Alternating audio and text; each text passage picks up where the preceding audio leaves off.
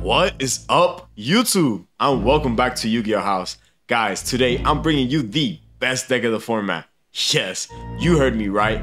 Branded has dodged another ban list, and people are going to start to realize that that's a huge mistake on Konami's part. Our day one subscribers know just how far this deck has come, and if you're new to the channel, make sure to hit that subscribe button because you won't want to miss the next update. Alright, jumping right in, the dedicated normal summon of the deck, Aluber the Jester of Despia.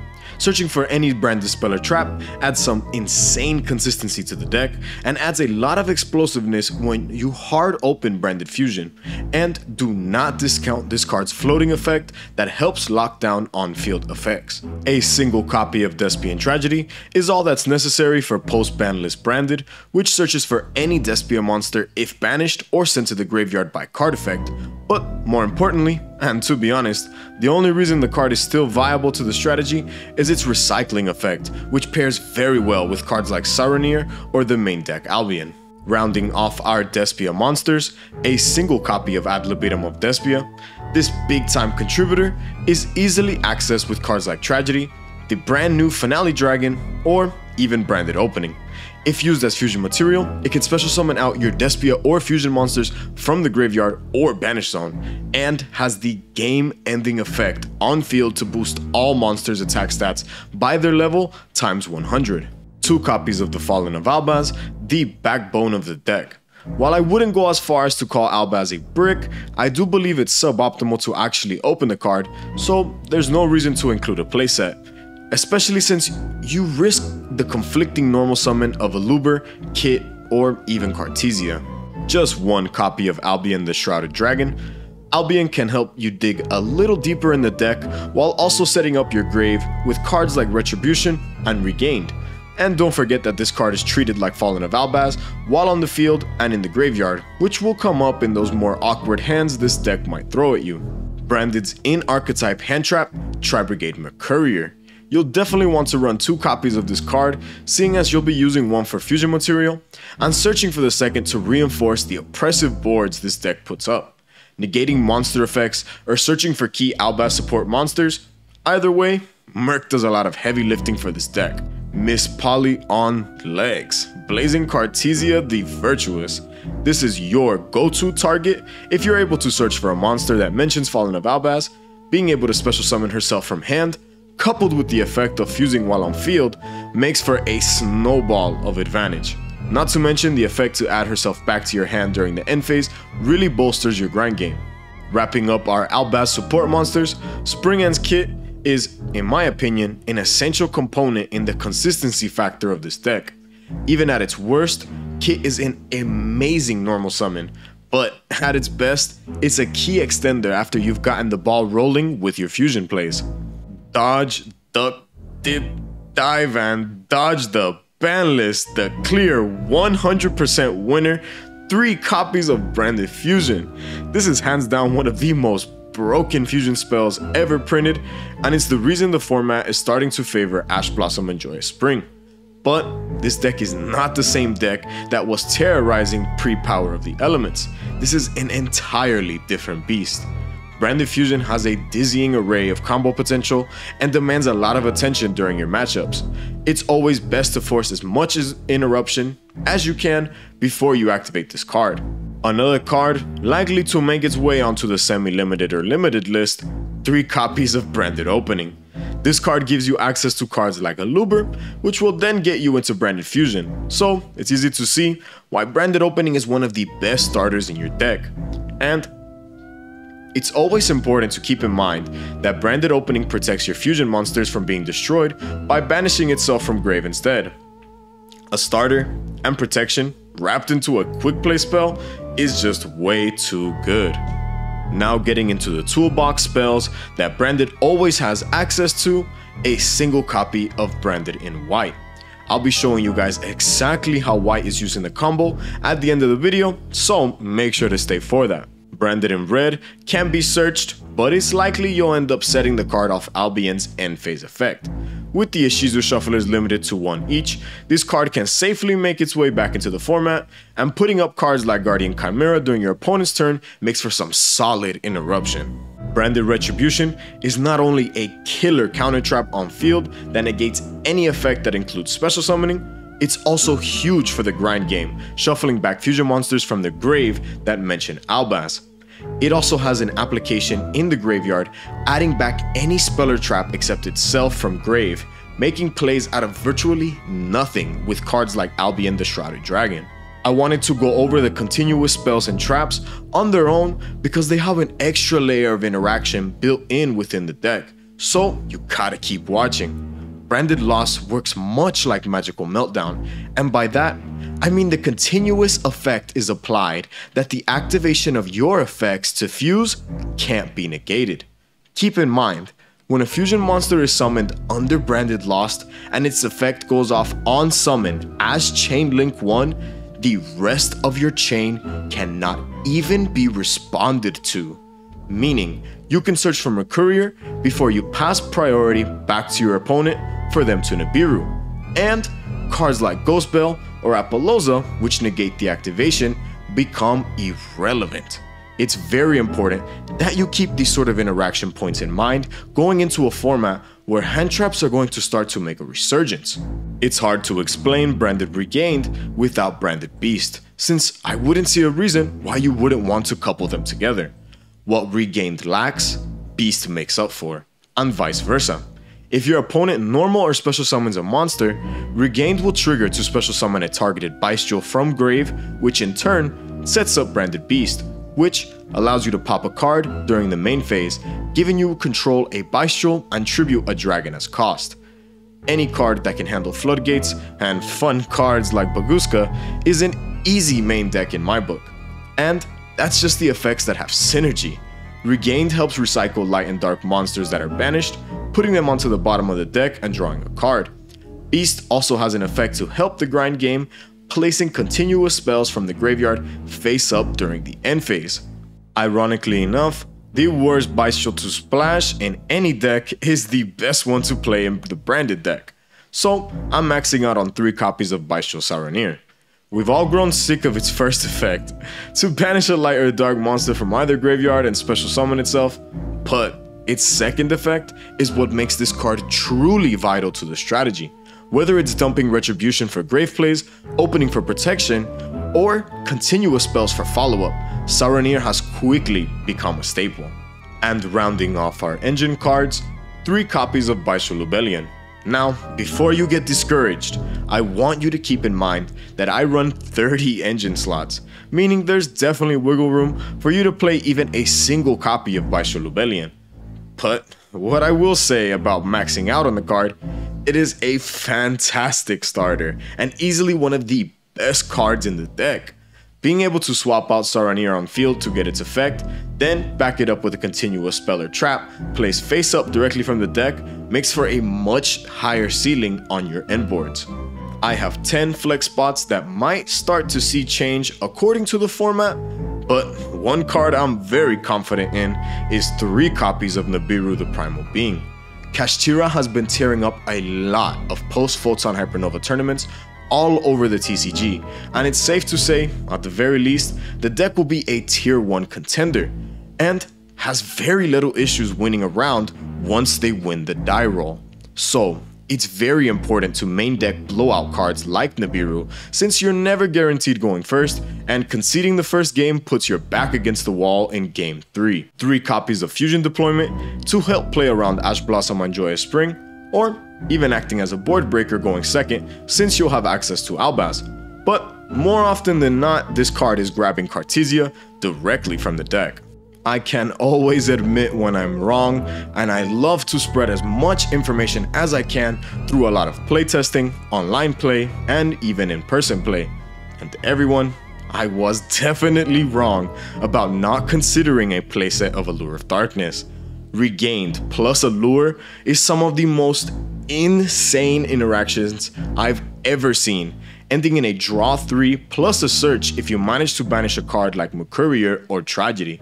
And since your opponent is likely holding the Ash Blossom for Branded Fusion, you can start to snowball so much advantage that the Ash can easily be played around. Call me a madman all you want, But rounding off a clean 40 card deck, a single copy of the bad man himself, Dark Magician.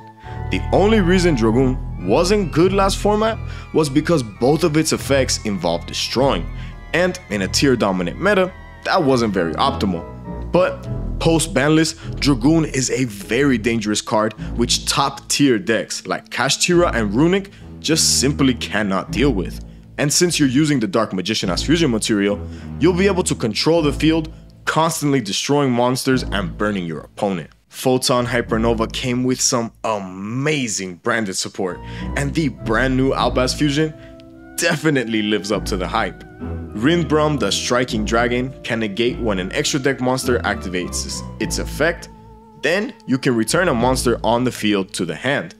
This is an immediate answer to a Rise Heart since its effect is mandatory, but isn't the only way Branded can decimate Kashtira. Brigran the Glory Dragon and Alba-Lenatus the Abyss Dragon are usually my go-to fusions when you're using cards like Mirror Jade or the Finale Dragon.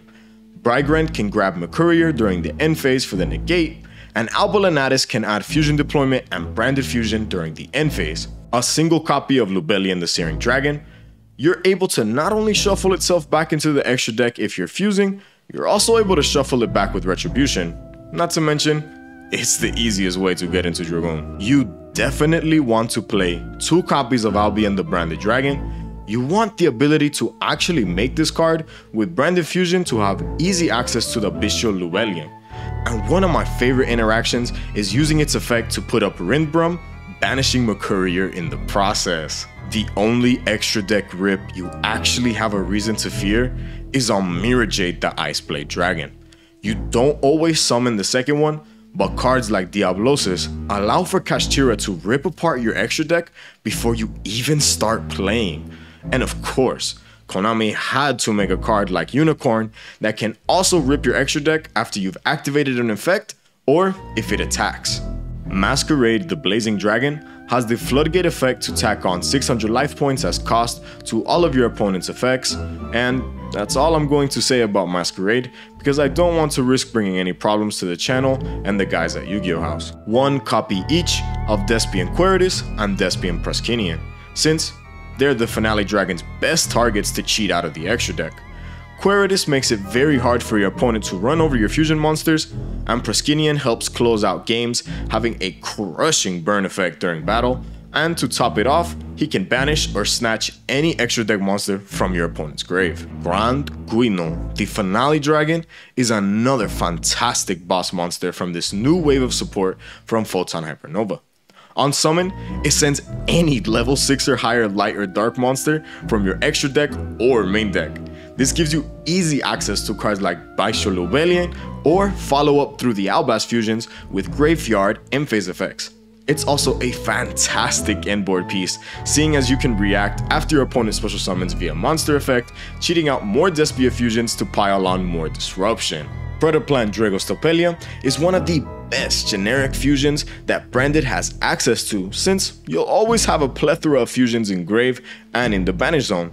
Of course, a Monster Negate is incredibly powerful, but the level modulation is the real unsung hero making Xyz plays that much harder to achieve. Only time will tell if Red Eyes Dark Dragoon is truly a game-ending card this format, and this will of course be heavily dictated by the success of Kashtira. Dragoon can't be targeted, which makes it a win con against decks like Runic and Cash, and its Omni Negate provides a substantial amount of protection from popular blowout cards that people have decided to play against the cash deck, like Book of Lunar Eclipse and Evenly Matched. Since I've decided to play the DM, Dragoon's on-field effect to destroy a monster and burn your opponent is opened up as a very solid option to slow down any sort of tempo your opponent is attempting to maintain. And the final card in the extra deck, a single copy of Guardian Chimera. Being able to pop and draw is huge this format now that Tearlament is going to be taking a back seat. I also want to point out that you might be tempted to fuse this card via Cartesia, but Guardian Chimera must be fused via spell card or effect to gain its disruption. Before I start to break down the side deck, keep in mind the format is relatively young so make sure to adjust it accordingly. Moving on. Three copies of Dimensional Barrier, one of the most insane going first lingering floodgates the game has ever seen and will likely take the spot of Scythe as a way to lock your opponent out of the extra deck even if it's only for a single mechanic. Three copies of Anti-Spell Fragrance to blow out runic variants and anybody citing a heavy amount of normal spells like Lightning Storm and Dark Ruler. Now, some help going second, three copies of Lightning Storm to counter anyone trying to floodgate you to death, while still being versatile in the fact that it can also deal with attack position monsters three copies of Book of Eclipse for the Kashtira matchup. The Book of Moon retrain is the easiest way to deal with the cash board, booking the Arise Heart to get your grave back, and flipping Shangri-La to gain access to your zones. Do keep in mind, this card can be ashed, but that also means Branded Fusion is sure to resolve. Last, but certainly not least, three copies of Evenly Matched. I've always been a very strong advocate for this card, and this format is no different. Evenly deals with a plethora of matchups, all at the cost of your battle phase. Alright everyone, it's combo time. Alright everybody, jumping right into the combo, I have our two best starters of the deck in Bystial Lubellion and Luber, with three copies of Nibiru just to kind of proxy an opening hand. Not that they will have anything to do with the combo, let's go ahead and get started. We can go ahead and pitch the Bystial Lubellion, sending it as cost to search for a copy of the Bystial Saronir.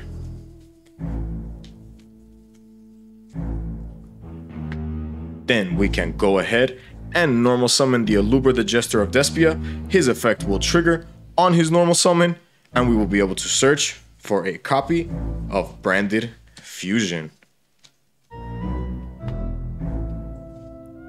We will go ahead and straight away activate our copy of Branded Fusion, sending a copy of Tri Brigade Mercourier and a copy of, of course, The Fallen of Albaz. This will make our brand new fusion monster, Rindbrumm. Now that that effect has resolved, we can go ahead and activate our Bystial Saronir, targeting the Tri Brigade Mercourier in the graveyard. We'll banish it to special and on the resolution, Tri Brigade Mercourier will trigger because it was banished. And we can search for a copy of... Where are you at? Blazing Cartesia, the Virtuous. Here, we can then activate... Or, excuse me, this is not an activated effect. This is actually a summoning condition, so we will sack Saronir for the Bystial Lubellion, and that will trigger Saronir's effect in Graveyard. We can go ahead and send a copy of Retribution, which will come in later.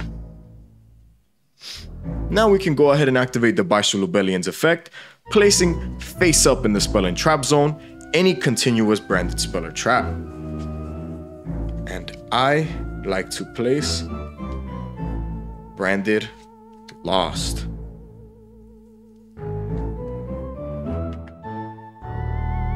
Here, we can go ahead and activate Blazing Cartesia's effect in hand. She will special summon herself.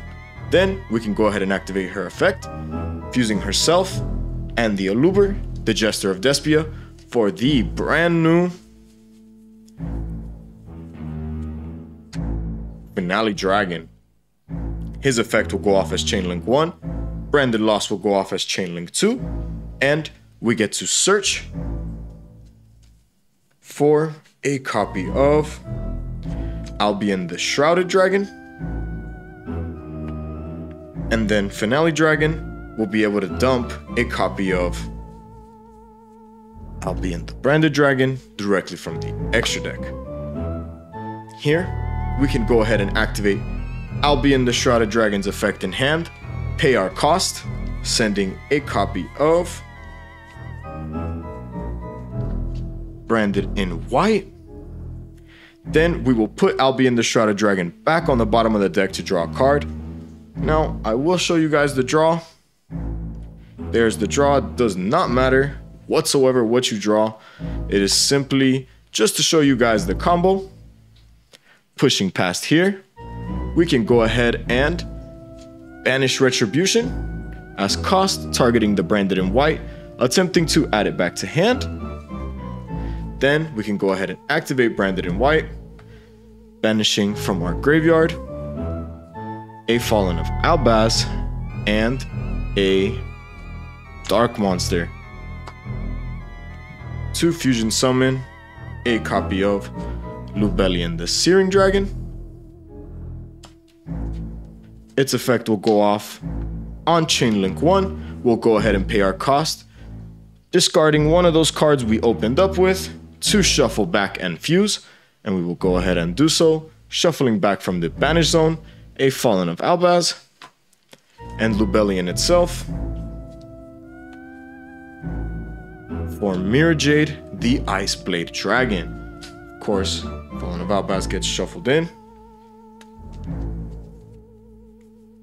Here, we are safe to move into our end phase where two separate things will trigger. I like to activate Albion the Branded Dragon first. Setting a copy of Branded in Red. Since we have that Aluber waiting in Graveyard, and on a separate chain, still during the end phase, Cartesia's effect will go off attempting to add itself back to hand. Then we end with four cards in hand, two being one we opened with, a draw, and Blazing Cartesia who gets added back from the graveyard. And all the disruption we have on field is insane.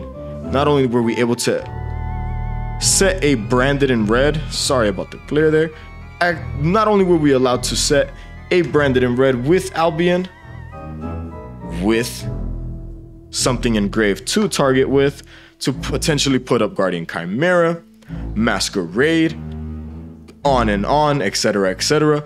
Grand Guignol can also put up on its own when your opponent special summons a monster via monster effect. You can cheat out either Quaeritis or Proskenion. Rindbrumm is a negate when a monster from the extra deck special summons its effect then you can bounce Mirror Jade. You can go ahead and activate its effect during your turn. I do think that play is just a bit cheeky and you can get punished really hard for trying to overextend like that. But again, it works. So you put, potentially could send something like Brigrand during the end phase or even Alba-Lenatus for even more searchability. This deck is absolutely insane. All right, everybody. Thank you so much for checking back in with Yu-Gi-Oh! House. Make sure to stay tuned for all the premier Yu-Gi-Oh! content coming at you guys all year long. Don't forget to comment down below and let me know your thoughts on the deck and where Branded will end up this format. And if you guys have made it this far, man, you might as well smash that sub button. All right, guys, peace.